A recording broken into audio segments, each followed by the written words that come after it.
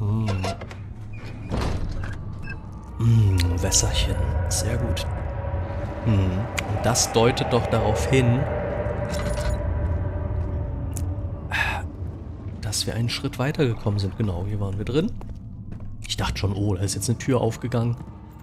Was erwartet uns da noch? Aber I see nein. that all the orb pieces you need. I know I have no right to ask anything of you. But if you could find it in your heart to gather the ingredients for Vire's tonic before attempting to mend the orb, there might still be a chance for you to save him. Please, my fate is in your hands. Ähm. Ich wollte gerade sagen, der Typ erscheint mir irgendwie sympathisch, zumindest soweit es eben geht. Ich würde ihm eigentlich helfen wollen. Ja, ja, ja, ja. Right Habe ich schon verstanden. Ich weiß nur nicht, wie man es jetzt zusammen... Vielleicht hier einfach in dem Glas? Kann nichts direkt zum Blut hinzufügen. Substanz muss erst gereinigt werden. Aha. Mir ist allerdings noch was anderes aufgefallen. Ich glaube, das hat es nicht in die Aufnahme geschafft. Ja, ja, ja, Dude, ich komme gleich zurück. Ähm, mir ist etwas aufgefallen. Ich glaube, das hat es nicht in die Aufnahme geschafft, die letzte. Äh, als ich hier zurückging, habe ich hier nochmal geguckt auf diese Tür und da steht nämlich Labor. Ich könnte mir fast vorstellen, dass wir da irgendwie reinkommen müssen, oder? Ich kann uns einfach durchboxen. Kann nicht verwendet werden. Aha.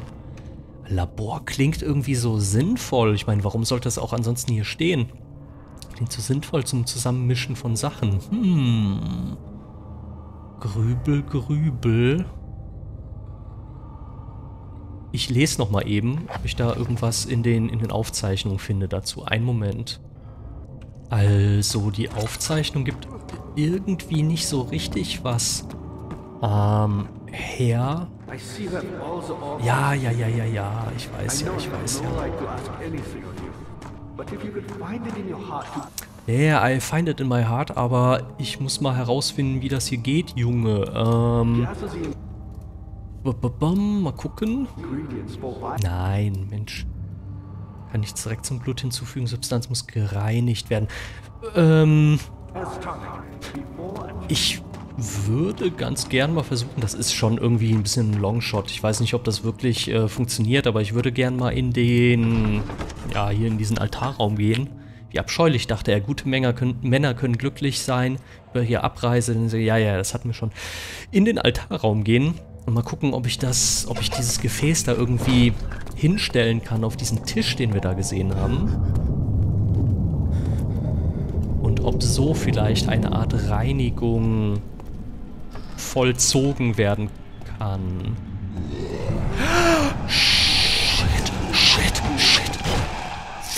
Was? Ich war hinter der Tür. Schlaf, ja, leck mich. Ihr Wallhacker. Ihr habt das ganz genau gesehen. Ich habe die Tür zugemacht. Yes, das nee.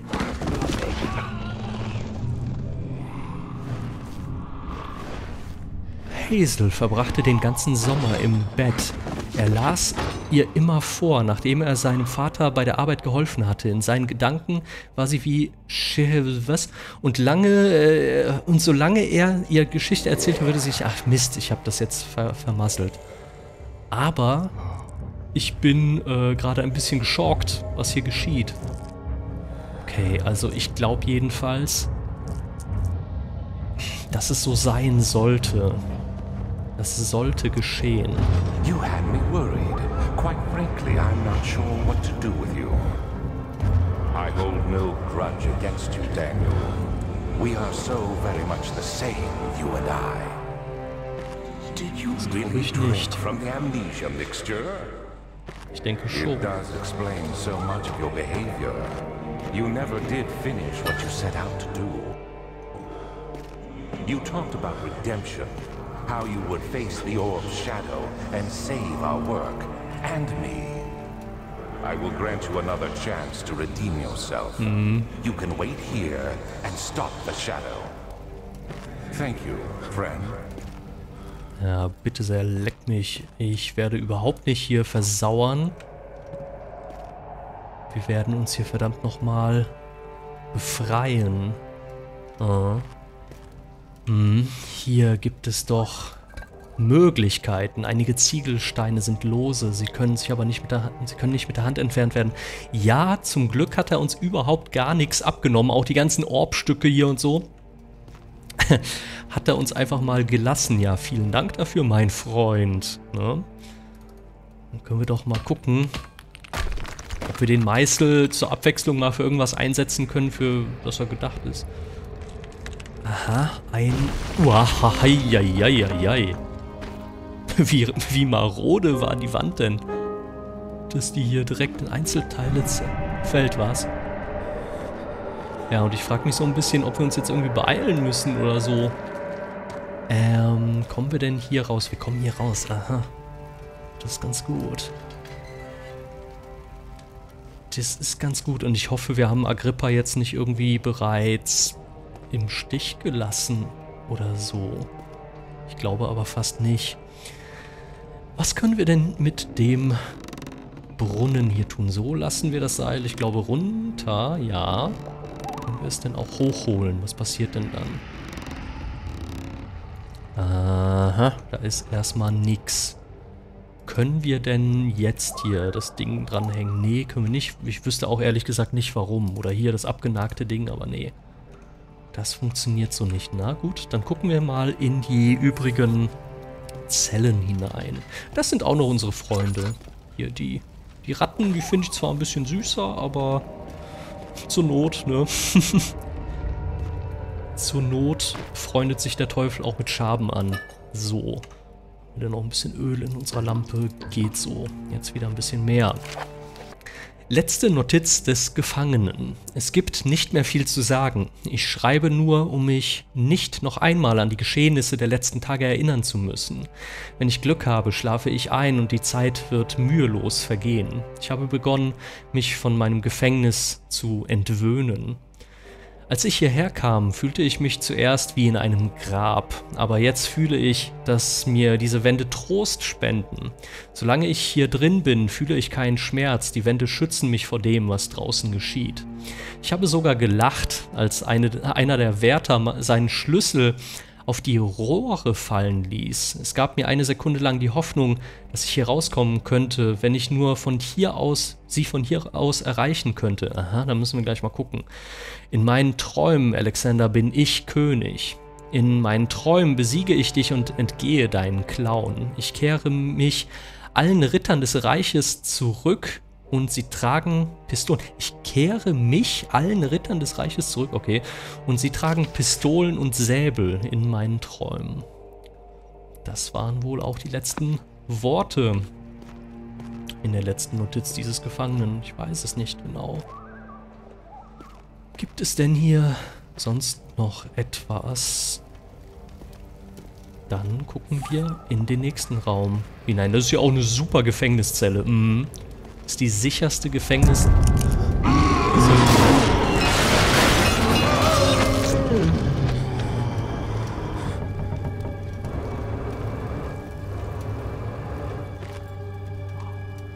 Schniepel. Ähm, was ist hier gerade geschehen? Haben wir gerade nochmal nachempfunden, was hier geschehen ist eben, was dazu geführt hat? Das kann sein. Schön. Ähm, ja, dann Ruhe in Frieden, mein nackter Freund. Und hast du denn noch irgendwas, was wir einsammeln können? Ich glaube nicht. Das klingt jetzt auch irgendwie ein bisschen komisch. Ich meine, so liegt da noch irgendwo Öl rum oder so. Das klingt auch komisch. ich glaube, ich lasse es lieber. Entschuldigung. Warum liegt hier überhaupt Stroh rum? Oh Mann, oh Mann, oh Mann, ist das schlecht. So, weiter geht's. Ignorieren wir das einfach mal. Ähm, wir haben einen Eimer gefunden. Den können wir doch sicherlich viel besser verwenden dafür, den mal da runterzulassen, als unser blödes Gefäß. Da ist ja auch das gute Blut drin, das gute Zeug. Das wir natürlich jetzt nicht verwässern wollen.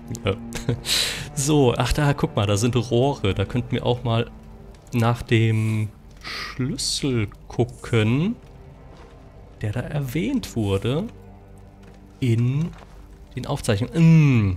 Mm, mm, da ist der Schlüssel. Dem Rohr ist ein Schlüssel, aber man kann ihn nicht erreichen. Ich weiß aber wie. Ich weiß, wie es funktionieren wird. Na, wisst ihr es auch? Ah, probieren wir es einmal. Mal gucken, was da so drin ist. Hauptsache irgendwas Flüssiges. Das würde eigentlich schon reichen. Blut wird wahrscheinlich nicht so geeignet sein, weil es so, so dickflüssig ist, relativ. Wasser wäre schon besser und ja, wir kriegen tatsächlich Wasser im Wassereimer. Das können wir da jetzt reinkippen. Und dann müsste das doch da rausgespült werden, das Schlüsselchen, oder? Pass auf. Hier. Hier. Aufgenommen rostiger Schlüssel. Macht das Wasser jetzt wahrscheinlich nicht gerade besser, das die Sache mit dem Rost, aber ist okay. Wir werden ihn gleich anwenden. So, und natürlich wieder ein bisschen Tageslicht. Einfach damit wir uns besser fühlen, weißt du? Und hier ist das Schloss. Können wir damit noch irgendwas machen? Ich glaube nicht. Es ist aber wohl auch nicht unbedingt notwendig. So, ich hoffe, wir haben hier alles erledigt. Dann probieren wir mal, wir rauskommen. Mhm. So weit, so gut. So, und die Frage ist jetzt... Wow, wow, wow, wow, wow, wow, Lauf. Ähm, die Frage ist, wo wir rauskommen. Ah, hi, hi, hi. Oh, ich komme hier nicht durch. Ich komme hier nicht durch. Oh, hier ist alles versperrt. Uh, schau nicht zurück. Ah, Hätte ich die Tür zumachen sollen? Ich weiß nicht. Uh, rechts oder links, rechts oder links, da Licht. Shit. Okay, so viel dazu.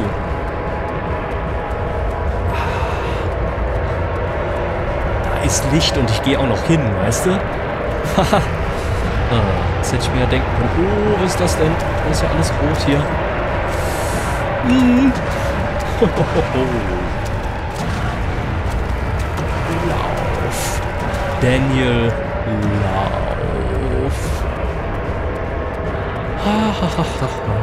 genau, Fackelchen anzünden zwischendurch. Wir haben ja die Zeit. Ist das ein Leveldurchgang? Ja, Hauptschiff. Wir sind zurück.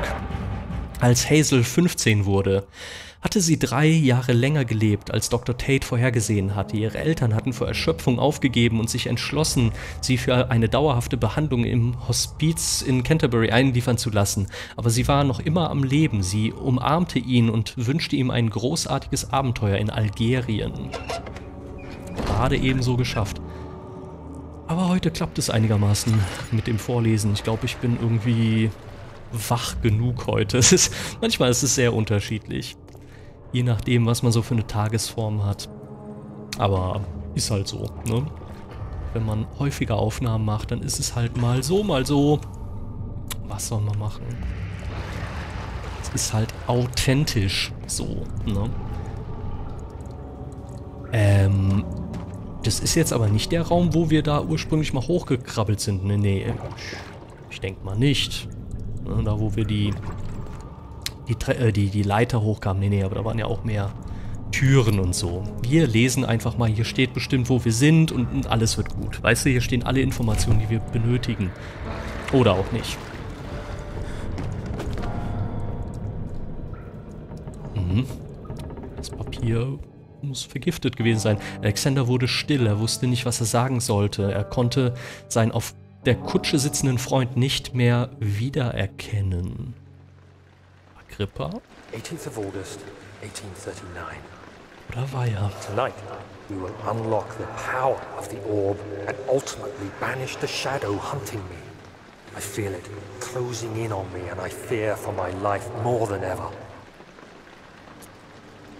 Just outside Ostad lies a small settlement where Zimmerman, dairy farmer, lives with his wife and three children. Zimmermann. Das ist eine nette Abwechslung. Was unexpected, and Alexander was able to strike Zimmerman down without alerting help. Und so haben sie sich ein neues Opfer. Went to take care of the farmhands.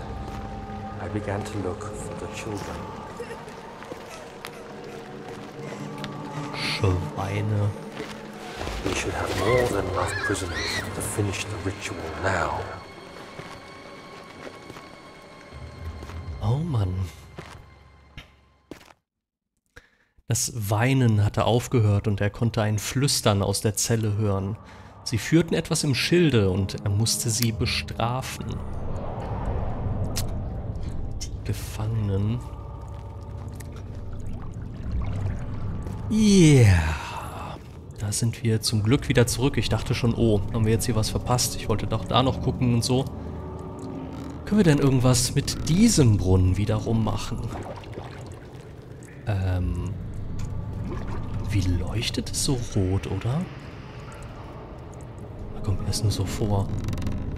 Hört das denn auf, wenn wir das hier wieder runter machen?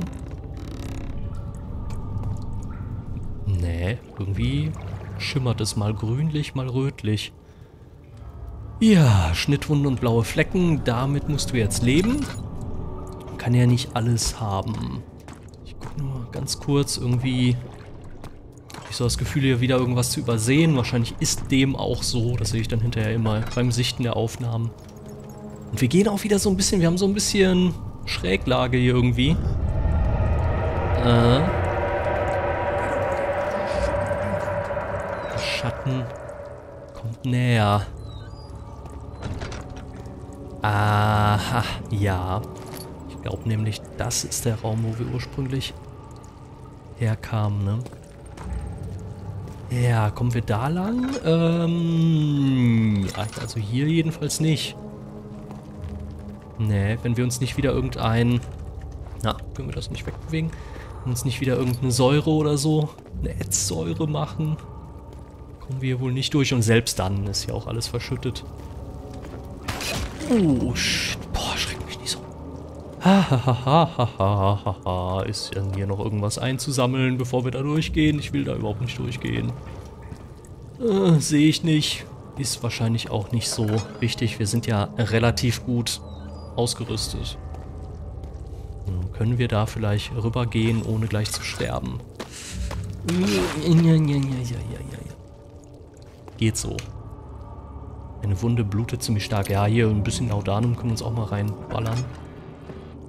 Ja, ach so. Hier sind wir wieder bei der Treppe angekommen. Nicht einfach runterjumpen, dann ist gut. Ja.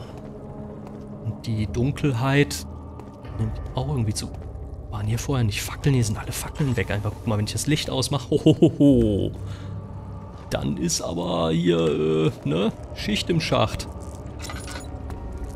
Hm, dann geht es uns auch direkt nicht so gut.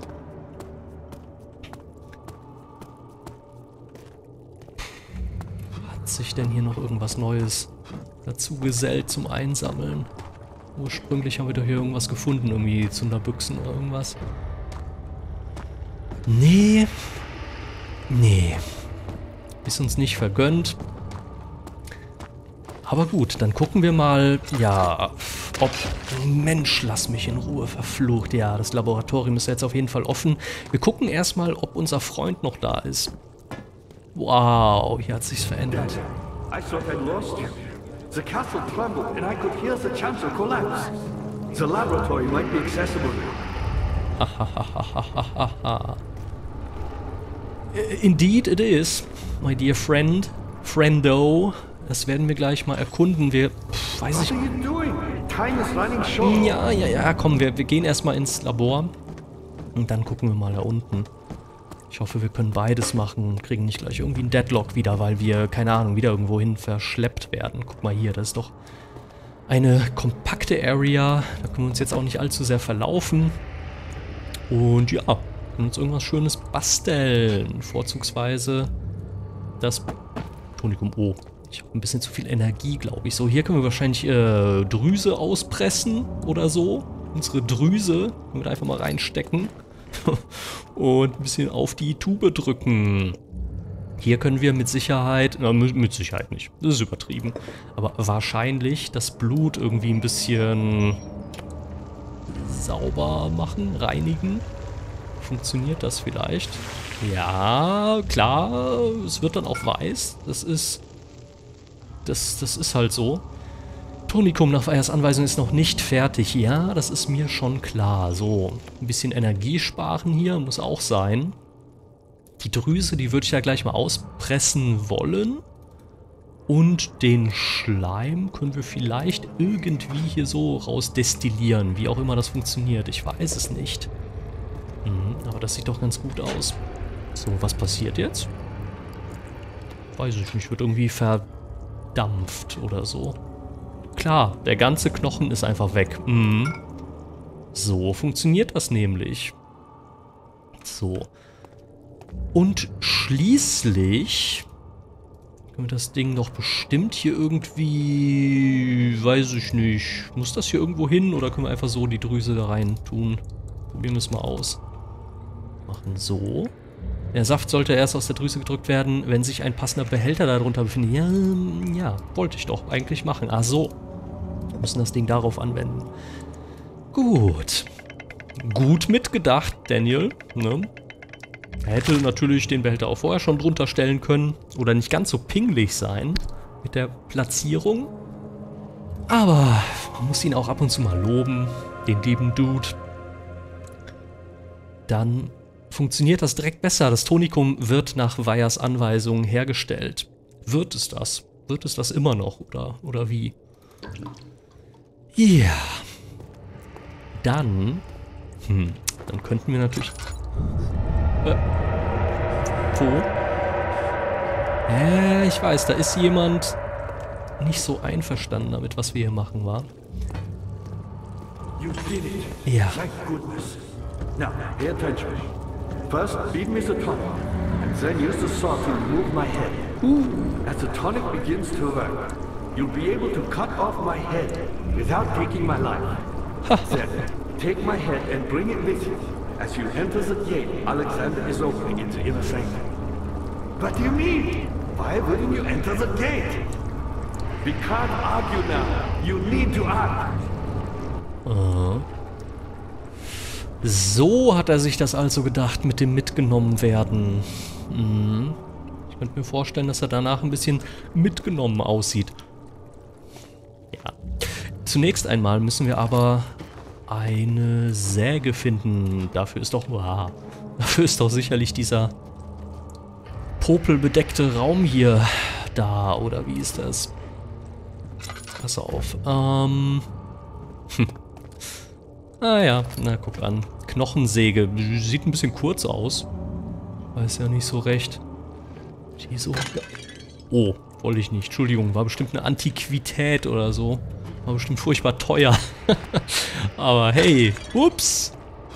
Na sowas. Ach, Alexander, willst du nicht, dass ich das mache oder was? Huch, es war ein Versehen. ich kann nichts dafür. Der Schatten leitet mich. Hm. So, hier noch ein Schlückchen. Und au, au. ja, das habe ich jetzt davon. ja, shit, okay. Mist. Das war ja klar. Okay, habe ich verdient. So, ein bisschen Laudanum haben wir aber auch noch aufgesammelt. Ein bisschen Laudanum. Brauchen wir denn gerade was? Einige Schnittwunden, blaue Flecken. Sollen wir uns einfach mal voll hochheilen? Alles ist gut.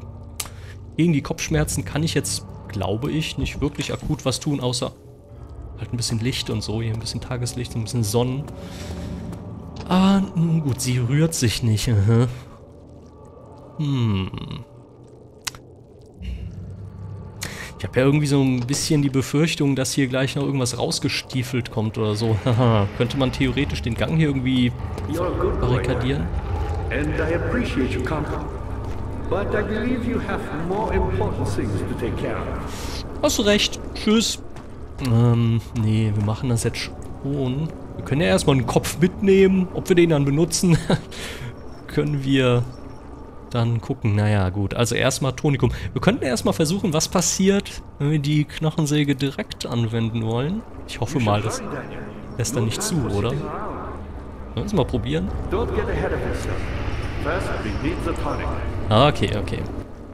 Erst ein Schlückchen zur Beruhigen, Beruhigung. Zum Beruhigen. Off with the head.